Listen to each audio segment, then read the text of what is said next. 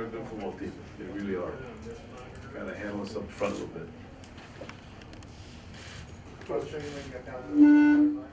I'm sorry? It's a little frustrating when you got down to the one yard line got. Yeah, yeah, you know, I thought, I, I really thought we could play with these guys and, you know, obviously a very, very good football team, very well coached and, um, but I thought we could play with them. I knew we'd have to play as mistake-free football as we could and, uh, I don't know, we'll have to go see on, what, was it on the one when we got pushed back?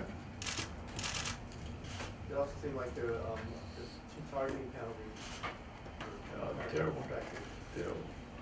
You think it was targeting on them when they? uh, Well, I, I, I, I did, they called targeting on them, which I thought should have been a late hit, but if you call targeting, then it's either all or nothing.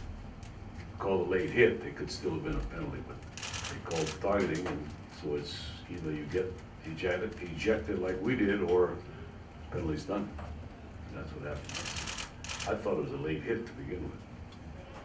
You're able to, dash was counsel on some long pass plays, but is it just a matter of just not being able to put string together? Well, yeah, you know, obviously that, uh, you know, we needed to, to play more consistently on offense.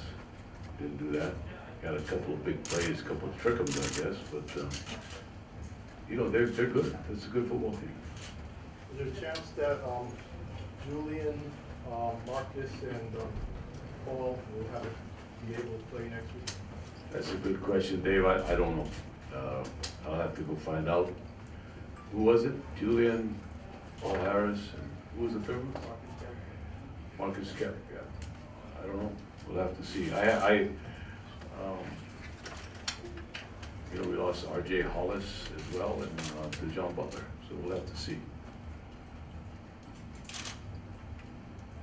Probably the worst case scenario for me is trying to, want to stay healthy. Yeah, yeah, yeah. They were a good football team, no question about it. Coach, I think a lot of people feel like the targeting rule doesn't make sense. Will you, after this, will you advocate in any way to try to change that rule? Well, I don't know, I, don't really understand the rule. Um, Looks like Max, Max's head went that way, you know, it kind of whipped back, which obviously means it's a a targeting deal. Um, I think Gaetano's was probably legitimate, he kind of jumped, you know, at the, the defender. But I don't, I don't know why one would be and one, why one wouldn't be. You know, that's, that's, that, we'll have to look at the tape and see. There was also a pass interference call that was pretty, uh, Well, that first one, is that the one you're referring to? Two, actually. Yeah, no, I mean, I, it is what it is. See, there are a lot of penalties, was there a lot, um, just because of the noise or just discipline or, uh, what was the?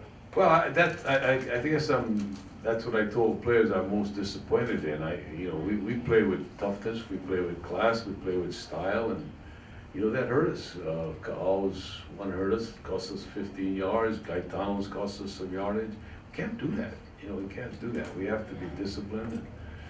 uh, You know, it was frustrating. I think the players were all very frustrated about what was happening. I honestly thought we had a shot, you know, I really did. Thank you.